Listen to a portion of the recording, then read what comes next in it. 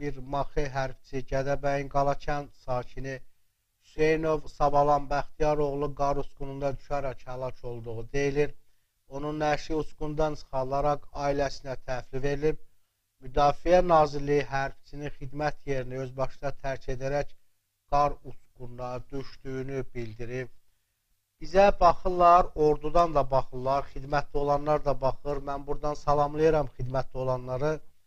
Dostlar, əziz əskərlər, zabitlər, vizirlər, maxelər,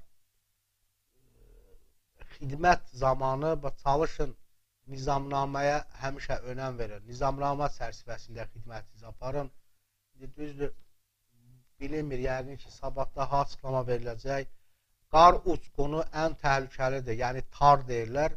Mən özüm də bir dəfə 7 nəfər əskərimlə birlikdə tara düşmə təhlükəm olub.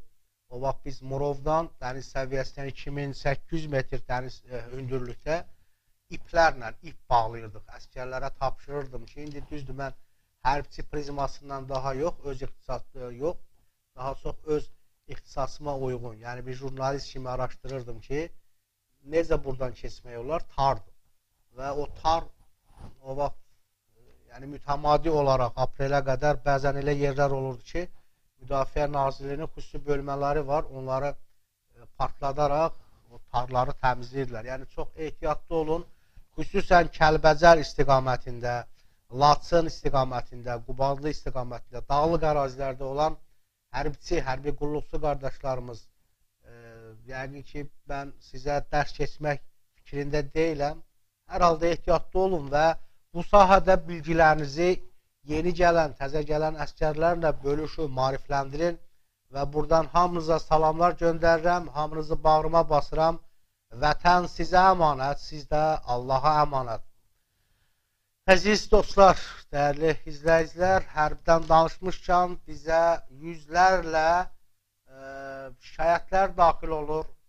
Veteran problemi ilə bağlı üzləşənlər, Naxçıvandakı ordu ilə bağlı, çoxlu ordumuzla bağlı çoxlu problemlər var, amma e, gündəm e, zəlzələ ilə bağlı zəbt olunub dostlar. Zəlzələ xəbərlərindən başqa bir xəbərlər arada bir deyirəm, amma özü bilirsiniz ki, köklənmişik ora. Yəni bu özü də bir xidmətdir. Türkiyəyə bir xidmət bilirəm ki, bu günləri biz mütəmadi məlumatlar verdik insanlarımızı e, Türkiyədəki qardaş bazılarımıza kömək etməyə çağırırıq. Bu özü də bir belə deyək, xidmətdir.